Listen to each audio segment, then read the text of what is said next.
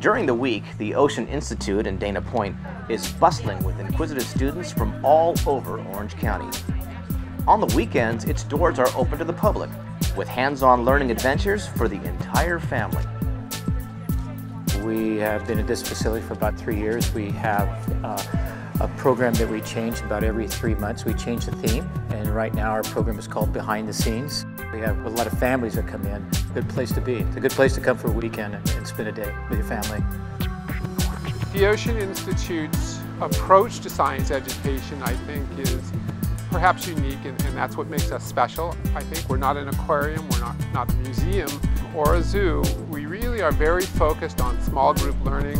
Very focused on immersing learners in, in different situations to challenge them. We develop out of the Institute, we develop better problem solvers, and uh, we try to take our visitors that are here and bring them up to the forefront of research and knowledge, and we do that by bringing in scientists and research tools and protocols and allowing them to immerse themselves in the same science that is going on deep in the ocean on thermal vents or far away under the Antarctic ice caps studying whales. So our visitors are, are right there with our scientists and the Institute serves as that bridge.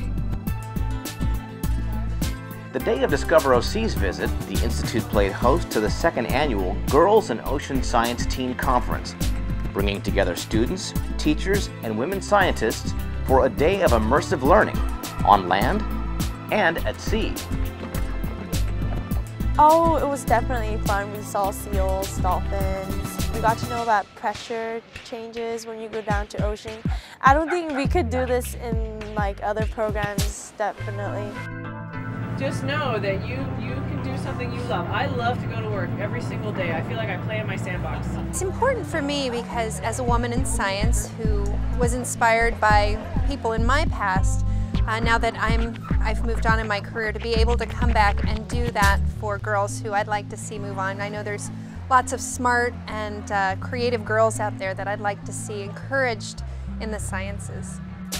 Ah, the ocean, ah, it's so big and every time I go to one of these different scientists and everything, they just talk about some different animal in the ocean, from little microorganisms to these huge whales and dolphins and and it's amazing how many different things are out there and I really want to learn all about it. right now, so you guys can see actually camera what the seafloor is looking like, so that sample.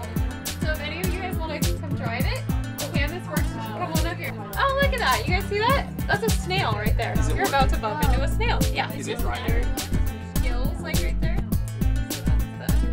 I was presenting today what it is like to be a polar researcher because I happen to be working with emperor penguins in Antarctica right now. So my role was to present what that career is like and then allow the girls to do some kind of hands-on activity so that they could have a little ownership of what it's like to be a scientist in that field.